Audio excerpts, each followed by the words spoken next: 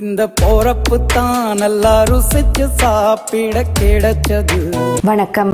மீன் பஜ்ஜி எப்படி செய்யறதுன்னு இன்னைக்கு பார்க்கலாம். இது திலாப்பியா மீன். நம்ம ஒரு ஜிலேபி கண்ட மாதிரி. இதில் முள் இருக்காது. நீங்கள் முள் இல்லாத எந்த மீன் வேணாலும் எடுத்துக்கலாம். இதை கழுவிக்கலாம். கழுவுறப்ப தண்ணி நேராக மீனில் விழற மாதிரி கழுவாதீங்க. மீன் உடஞ்சிரும். மீனை கொஞ்சம் தள்ளி வச்சுட்டு தண்ணி பிடிச்சிக்கலாம். இந்த மாதிரி ஒரு ரெண்டு மூணு தடவை கழுவிக்கலாம்.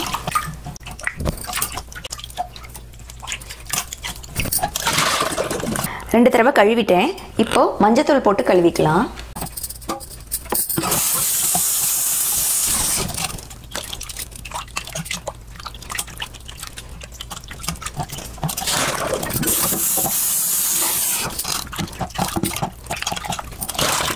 நல்லா கழுவியாச்சு. இப்போ இதை வெட்டிடலாம்.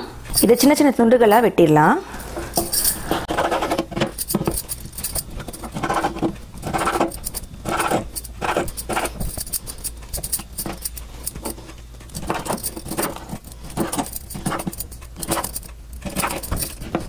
இந்த மாதிரி அந்த மீனையும் வெட்டிக்கலாம். ரெண்டு மீனையும் நறுக்கியாச்சு. எனக்கு மொத்தம் இருபத்தேழு துண்டுகள் வந்திருக்கு. இந்த வெட்டி வச்ச மீனில் கால் தேக்கரண்டி மஞ்சத்தூள் அரை தேக்கரண்டி மிளகாய்த்தூள் அரை தேக்கரண்டி உப்பு கொஞ்சம் எலுமிச்சம்பளம் புழிஞ்சுக்கலாம். அரை மேஜை கரண்டி புளிங்க ரொம்ப புளிஞ்சிடாதீங்க ரொம்ப புளிஞ்சா கசந்துரும். அரை மேஜை கரண்டி அளவு புளிஞ்சிருக்கேன் இப்போ இதை பிரட்டி வச்சிடலாம்.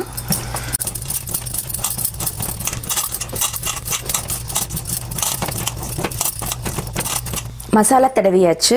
இது ஒரு மணி நேரம் அப்படியே ஊறட்டும். நீங்கள் ராத்திரியே இந்த மாதிரி மசாலா தடவி கூட ஃப்ரிட்ஜில் வச்சிடலாம். மீன் முக்கால் மணி நேரம் ஊறிடுச்சு.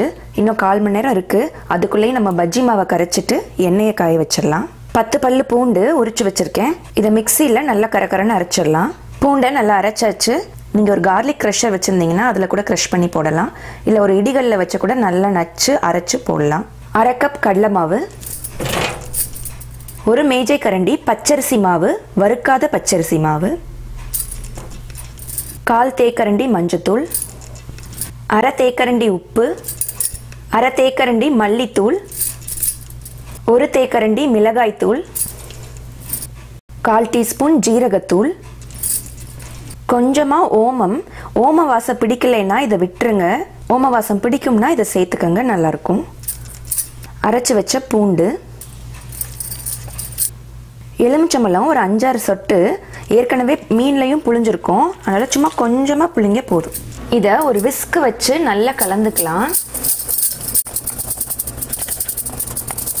இப்போ இதில் ஒரு அரை கப் தண்ணி ஊற்றி கட்டி தட்டாமல் கலரிக்கலாம்.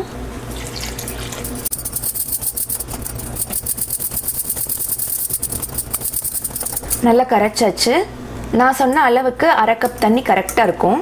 ரொம்பவும் தண்ணியாக கரைச்சிட்டிங்கன்னா மீனில் ஒட்டாது மாவு.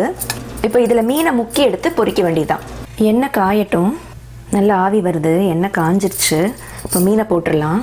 மீனை இதில் போட்டு நல்லா ரெண்டு பக்கமும் மாவு படுற மாதிரி முக்கி எடுத்து அந்த மாவு சிந்திராத மாதிரி ஓரத்தை இப்படி வடிச்சிட்டு இதை இப்போ எண்ணெயில் போட்டு பொறிக்க வேண்டியதுதான்.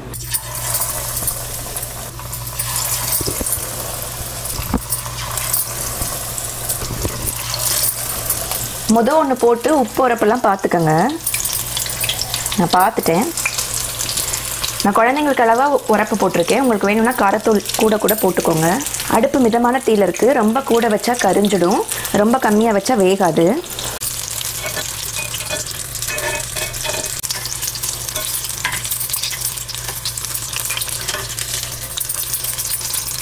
மீன் சீக்கிரம் வெந்துடும் இந்த பக்கம் ரெண்டு நிமிஷம் அந்த பக்கம் ரெண்டு நிமிஷம் அவ்வளோதான் அப்பப்போ திருப்பி போட்டுக்கோங்க.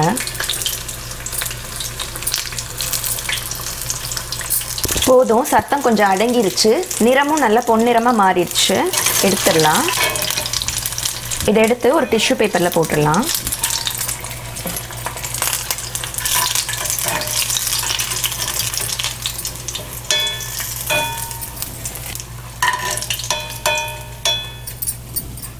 இதே மாதிரி மீதி எல்லாத்தையும் பொரிச்சு எடுத்துடுறேன். இந்த பஜ்ஜி மாவு மீதி இருந்துச்சுன்னா ஒரு வெங்காயத்தை நீல வாக்கில் நறுக்கி போட்டு பிசைஞ்சு இந்த மாதிரி தூள் பக்கோடாவாக போட்டு எடுத்துடலாம். ஃபிஷ் பஜ்ஜி தயார். செஞ்சு சாப்பிட்டு பார்த்துட்டு எப்படி இருந்துச்சுன்னு கமெண்ட்ல சொல்லுங்கள் நன்றி. இந்த போறப்பு தான் நல்லா ருசிச்சு சாப்பிட கிடைச்சது.